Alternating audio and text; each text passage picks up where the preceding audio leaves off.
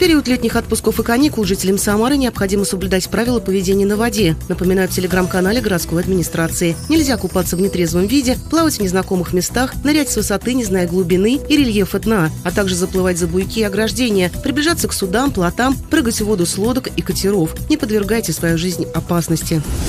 12 августа Самарская область вместе со всей страной отметит День военно-воздушных сил, информирует телеграм-канал Кировского района. С 16 до 9 часов вечера на второй очереди набережной будут работать самые разнообразные тематические площадки и выставки. Открыт мобильный пункт отбора на военную службу по контракту в российскую армию. Специалисты помогут вступить в Самарский батальон. А вечером здесь пройдет митинг-концерт под небом единым, приуроченный к празднованию Дня военно-воздушных сил и организованный в поддержку российских военных, принимающих участие в специальной военной операции на Украине.